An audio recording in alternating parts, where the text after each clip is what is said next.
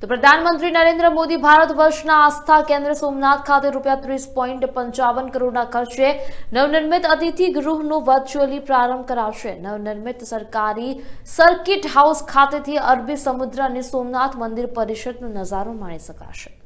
પ્રધાનમંત્રી નરેન્દ્ર મોદી ભારત વર્ષના આસ્થા કેન્દ્ર ભગવાન સોમનાથ મહાદેવના સાનિધ્યમાં અને અરબી સમુદ્રના કિનારે રૂપિયા ત્રીસ પોઈન્ટ પંચાવન કરોડના ખર્ચે નવનિર્મિત અતિથિ ગૃહનો વર્ચ્યુઅલી પ્રારંભ કરાવશે આ પ્રસંગે મુખ્યમંત્રી ભૂપેન્દ્ર પટેલ પણ વીડિયો કોન્ફરન્સિંગના માધ્યમથી જોડાશે. તે ઉપરાંત સોમનાથ ખાતે રાજ્ય સરકારના માર્ગ અને મકાન તથા પ્રવાસન અને યાત્રાધામ વિકાસ મંત્રી પૂર્ણેશ મોદીની ઉપસ્થિતિમાં તારીખ એકવીસ એક બે હજાર બાવીસના રોજ સવારે દસ કલાકે આ ઉદઘાટન સમારોહ યોજાશે. આ આલિશાન ચાર મંજિલા અતિથિ ગૃહ કુલ પ્લોટ પંદર હજાર ચોરસ મીટર એરિયામાં ફેલાયેલો છે જેનું કુલ કાર્પેટ એરિયા સાત હજાર સિત્તોતેર પોઈન્ટ ઝીરો ઝીરો ચોરસ મીટર છે અદ્યતન સુવિધાઓ સાથે આ સર્કિટ હાઉસમાં બે વીવીઆઈપી સ્ટુટ રૂમ સાથે આઠ વીવીઆઈપી રૂમ આઠ વીઆઈપી રૂમ ચોવીસ ડિલક્સ રૂમ સાથે કિચન જનરલ અને VIP dining store room conference room બસો લોકોને સમાવતો